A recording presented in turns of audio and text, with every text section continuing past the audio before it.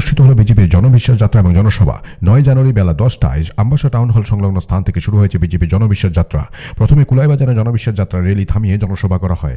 সেখানে উপস্থিত ছিলেন রাজ্যের প্রাক্তন মুখ্যমন্ত্রী এবং রাজ্যসভার সাংসদ বিপ্লব কুমার দেব, সাংসদ রেবতী ত্রিপুরা, বিধায়ক পরিমল দেববর্মা বিধায়ক শম্ভুলাল চাকমা, বিজেপি নেতা অমিত রক্ষিত প্রমুখ জনসভায় পরপর ভাষণ তুলে ধরেন বিধায়ক পরিমল দেববর্মা সাংসদ রেবতী ত্রিপুরা, অমিত রক্ষিতরা।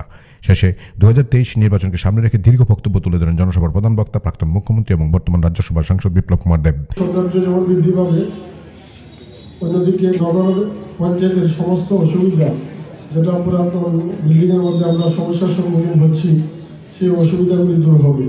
তো আমি মনে করি যে এই বিল্ডিং নতুন বিল্ডিং, কমলপুর বাসীর কাজে লাগবে কমলপুর শহরের নগর এলাকার সমস্ত বসবাসকারী সমস্ত নাগরিকদের সুবিধার্থে এই নবনির্মিত বিল্ডিং কাজে লাগবে।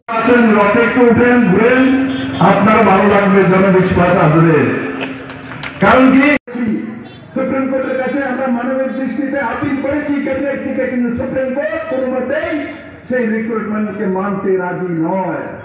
মৌলিক অধিকারগুলো মানুষ এতদিন পায়নি যেগুলো মানুষের হাতে উঠেছে। মানুষ কথা বলার সুযোগ পেয়েছে গণতন্ত্র আবার আবার আবার পুনঃস্থাপিত হয়েছে।